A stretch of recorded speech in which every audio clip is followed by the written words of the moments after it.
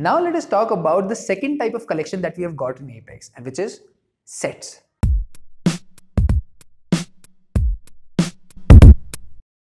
So set is similar to list, but the properties, the two properties that we had in list are a little different when it comes to set.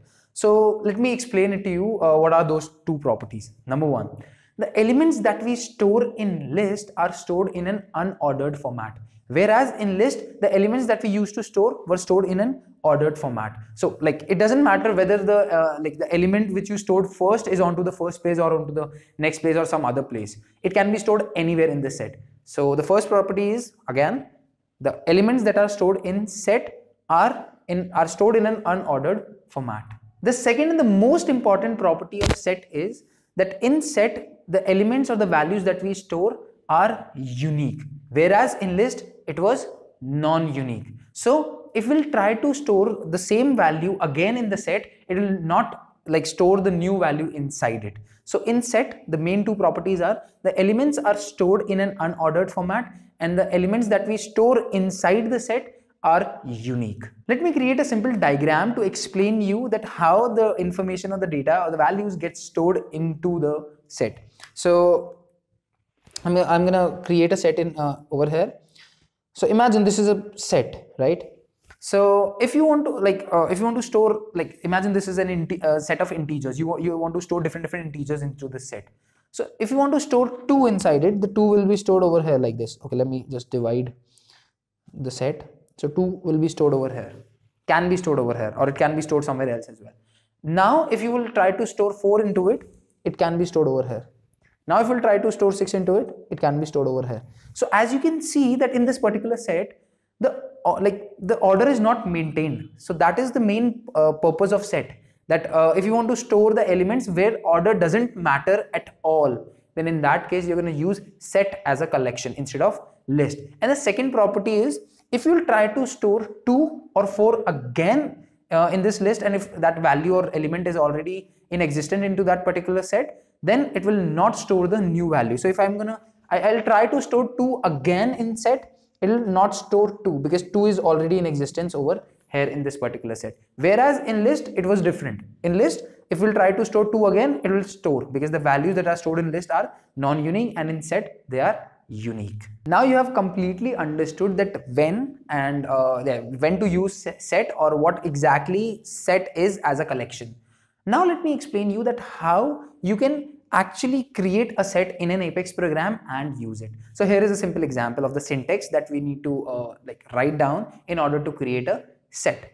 So uh, let's have a look. So yeah, this is the syntax now. So over here, it's uh, if you can see set. So set is a class in Apex and then you have in the angular brackets you have to write down data type it's again similar to the uh, list class where uh, like list is a generic class in which the elements or the type of elements or the type of data that we want to store we need to write down the data type of that data. So if you want to store integer values into a set you have to write down set and then inside the angular brackets you have to write down integer.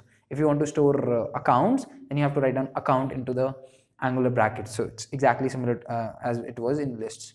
Then you have to write down s uh, yeah over here i've written down s uh, it's a, it's just a variable which is gonna refer this particular set. And then new set data type and then parenthesis open and then parenthesis close. This is what you have to write down. And this will create a new set and it will assign it to s variable. Yeah s, s reference variable which is of this particular type only. Let's create a set of integers. So in here I've written a program in which I've like created a set of integer. To create a set of integer I'll write down set and then inside the angular brackets I'll write down integer and then I'll write down s1 so s1 is the like reference variable that I've I'm using to refer this particular set. And after that I've written down new set and then integer and then parenthesis open and parenthesis close. So this let me explain you what this complete statement will do.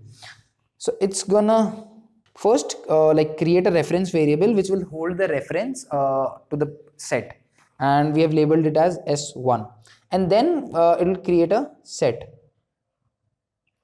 like this.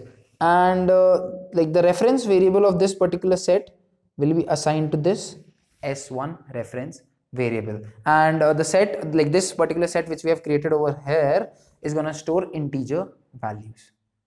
And to add those integer values this is what we have to do. Again that add method which is there in lists. So if uh, in here I'll write down s1 dot add 2, it's gonna store 2 in this particular set. So 2 can be stored anywhere because the elements that are stored in set are unordered. And then we'll write down 4. So 4 uh, we get, like it can store 4 on the like topmost place or any any place no there's no index there's no position there's no order in set and then we'll write down s1 dot add uh, 6 over here and the 6 is going to store over here. And then after that 4 so again like have a look. We are trying to add the value which we added earlier as well which is 4 it's not going to store 4 into this particular set because the elements that are stored in the set are unique. So yeah this is how basically you can create a set of integers and add the values in that particular set. There is one more syntax uh, with the help of which we can create a set and simultaneously add the values in that particular set. And here it is. So first we need to create set integer s2 it's gonna create a reference variable s2 which is gonna store the reference of that particular set. And then we need to create a new set of integers. So uh, yeah we, are gonna create a new set of integers which, which is gonna have uh, the values uh, the values uh, like what I mean by values is the values which you want to store into that particular set. So in this case it is 2, 4, 6, 4 and this complete statement is exactly similar to this complete statement or these uh, like four five statements. So there's no difference. So what we are doing over here is we are storing 2464 uh, values into this particular set. At the end there are gonna, like there are going to be only three values which which are going to store into this particular set. So up till now we have only created a set of integers. But now we will also create a set of string. And it's like there's nothing different in that. So uh set of string. So inside the angular brackets i just have to write down string as a data type. And it's going to create a reference variable s3 which is going to store uh, a new like a set uh, reference to the set which will store string values. So this is how i can create a set of string new set string. And after that inside the curly braces i just have to uh, like specify the string values that i want to store in this particular set. So in this case uh, what i've written down over here is this is how so this is one string is is another string how is another string v another string do another string and it another string. So the all these string values are unique right? So there's there, there are going to be total six string values that will be stored in this particular set. So yeah that that's what it is. So you understand what is set.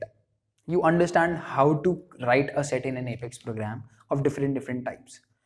Remember that you can also create set of s objects. And what i mean by s object is account contacts like any custom object that you have created. So in sets the values are uh, like the values which are stored uh, stored inside it are unique. So how will we identify or how will we determine the uniqueness of s objects that we are planning to store inside a set? So there are two account records. The like the reference of both the account records are stored into different different reference variables a, a1 is one uh, like which refers to another account record and a2 refers to another account record. We are storing both of those account records inside a set. So how it's going to identify that which one uh, like which two accounts are unique and which two accounts uh, are like not unique? So there is a simple methodology or uh, like a concept that you have to understand that how Apex as a programming language determines the uniqueness of S objects and this is exactly what we're going to discuss over here in this program. So have a look. In this program what I've done is I've created a set uh, of account. So set of account is nothing but uh, yeah basically it's gonna it's, it's again a collection set collection which is gonna store account records into it or account uh, S objects into it and I've uh, like specified the reference variable as set and then the new set account like this and now what i'm doing is i'm creating different different account uh, like account S objects instances so there are four of them over here a1 a2 a3 and a4 so account a1 is equals to new account name is equals to amazon. So the name field in that this account S object is amazon. The number of employees field is 20000 getting it? And similarly we have created another account S object. So you can see we are creating two accounts in here because we are using new again and again and we are assigning the reference variable or the reference of both these accounts to different different reference variables a1 and a2 and this account also has uh, like this account has the name value set as walmart and the number of employees value set as 20000 getting it? And then account a3 is again a new account which has the name as amazon and number of employees as 20000 getting it? And the fourth one is a4 which has uh, like where we are creating a new account S object where name is equals to amazon. So in here if we'll add like in s set if we'll add a1 a2 a3 and a4 what do you think? All the four records or all the four s objects will be added? Or uh, like some of them are like uh, uh, like similar or uh, like any one of them are duplicate in here? But because we have created different completely different s object in here because whenever we use new and we use account uh, constructor of that particular s object a new s object gets created. So what do you think? Like there, will there be four account records will, which will be added into this particular set? Or there will be only three? Because the fields value in this s object a3 and a1 are similar. So the thing is uniqueness of s objects is defined based on like is basically defined on the values that are stored inside the field of that particular object. So when it comes to account there are two fields which we are using in here name and number of employees. Both of the values which are stored into these fields are same for a1 and a3 so according to apex the uniqueness is defined onto the field values of that particular s object. So these two are duplicate. A1 and a3 are duplicate no matter if there are two different s objects but the values which the fields have uh, for like in both the account records are same. And if all the values in the fields uh, of both the s objects are same like these two records will be considered as duplicate in apex. But you must be thinking that okay Shrey, the field values are same for a1 and a3 amazon and amazon and number of employees 20000 and 20000 but in A4 as well, we have got the name as Amazon. Number of employees is not there, so it, it should not compare that. So let me tell you what is happening over there. In A4, the number of employees is set as null. So that is what make what is making this S object unique in this particular set. So that's the reason we'll have A1 into this set, A2 into this set because the name is different obviously and A4 as uh, like a4 is will also be stored into this particular set because the number of employees uh, field is set to null which makes this s object unique. So at the end uh, like uh, at the end of uh, this like these four steps s set dot add a1 a2 a3 a4 uh, will have three records and that we can identify with the method size. So if we'll call s set dot size it's going to return 3 because there are only three s objects which are stored into this particular set. And that's how you need to identify or basically apex identifies uh, the uniqueness of s objects in while you're storing them in a set. So to explain this concept to you in a like in a detailed format i'll create a simple diagram in here. Let's have a look. So what what, what i'm doing over here is i'm creating a reference variable which is gonna store a reference of a set which will which will actually store account objects record in here right? In the form of s object because obviously the records in uh, apex are accessed as a, in a like in the in the form of s objects. So when uh, I, am I'm, I'm creating this a1 and then i'm storing new account amazon number of employees a new record is getting stored in here. Uh, yeah or a new s object is getting stored in here. This one is s set a new record is getting stored over here in this particular uh, set uh, which can be stored anywhere where the name is Amazon and uh, comma the number of employees is 20,000 so whenever we try to store another uh, s object in here it compares that the the values which we are storing in this particular set are already in existence or not so uh, if we'll try to store Walmart and then number of employees is 20,000, it's going to store Walmart in here like this. Because the name is different, it's going to store it over here simply. No matter if the other field is same. but one field uh, one field's value is different right so it's going to store walmart but when we'll try to store the a3 one it'll see that amazon with 20000 is already stored into this particular set over here